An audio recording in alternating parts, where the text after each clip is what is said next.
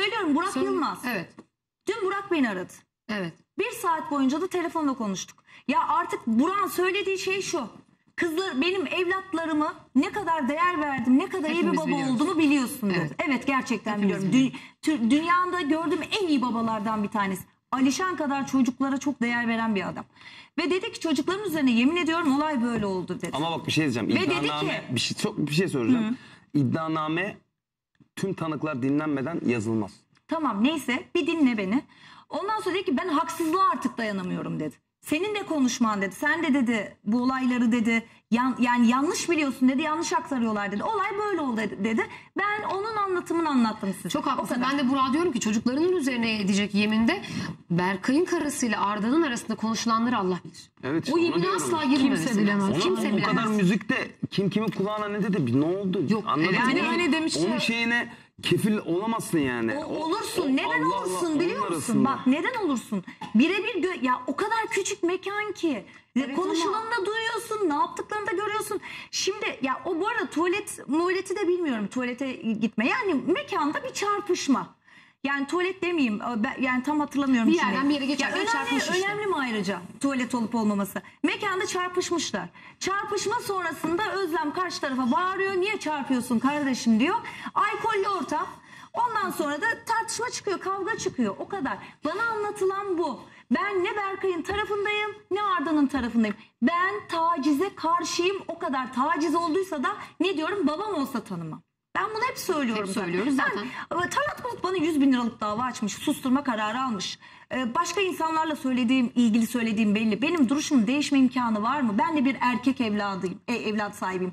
Bir gün benim oğluma da Allah korusun iftira atabilirler. Kınama kınadığım başına gelir. Ben o yüzden dikkatli konuşmaya çalışıyorum. Ama Burak'ın da anlattığı çocuklarımın üzerine yemin ediyorum olay bu artık haksızlığa dayanamıyorum. Peki Burak bu anlattığını anlatmış mı? Şeye.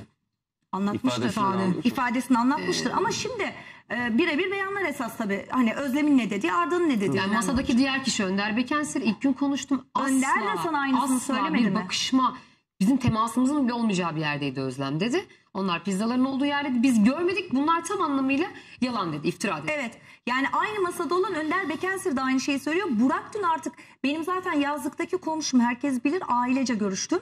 Burak artık haksızlığa dayanamamış sesi titriyordu.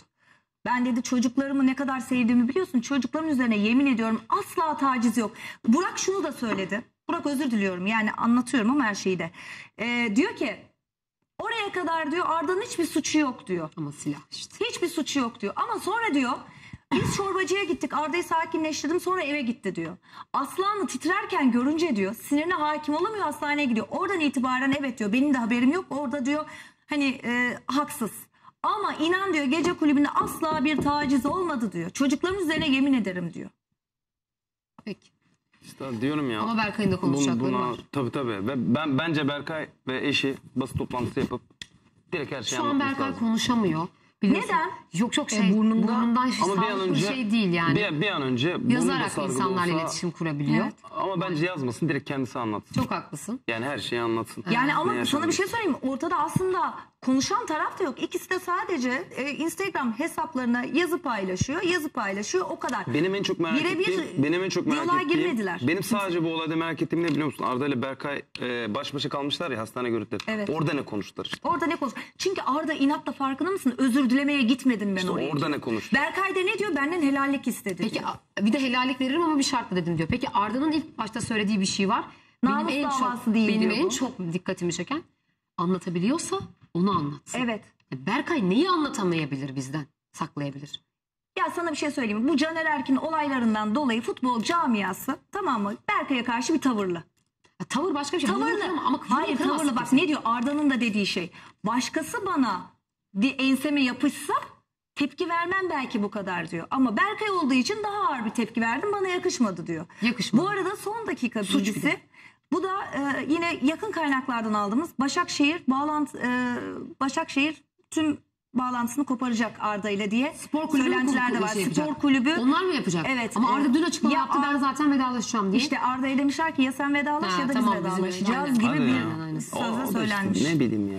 Yani bu kadar futbol kariyeri iyi. Ya ben dün de anlattım. Ya sosyal e, sorumluluk projelerinde yer alan inan sen de Arda'yı çok iyi tanıyorsun. Berkay'ı da tanıyoruz. Ya hiç Ya ben. Arda'nın Atletico Madrid'de oynarken şampiyonluk maçına gittim Barcelona'ya. Evet. Yani her gideni de çok iyi ağırlayan gerçekten Evet çok çok ya, iyi biri. Biraz bir öfke çocuk. kontrolünde demek ki sıkıntısı var demek. sıkıntısı var. Ee, ve o gecede işte yaşananlar dediğim gibi artık hani şimdi mesela sen konuşsan Arda'dan taraf olsan Arda şey Berkay kızacak. Berkay'dan Sen taraf gibi misin? olsan Arda kızacak. Bize Anladın burada mı? ne Yani hakaretler bu, geliyor, bu konuda her tek şeyin. şey şu dediğim gibi taraflar çıkıp o gece ne yaşanıyorsa anlatacak. Yani kimse üstü kapalı değil de Asla.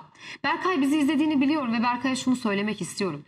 Ee, bu olay sizin yaşadığınız gibiyse bir saniye bile sessiz kalmamanız lazımken bu ferasetinizden anlamıyorum.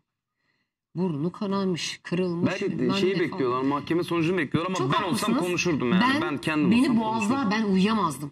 Böyle Sen bir şey varsa. misin? Şu anda bak eğer değil biz bir yet- 80 milyonda bir kişi bile Arda'ya hak verseydi eğer bu olay doğruysa ben yine çıkar konuşurdum. Ama şu anda resmen olaylar ikiye bölündü. Peki. Bence çıkıp konuş.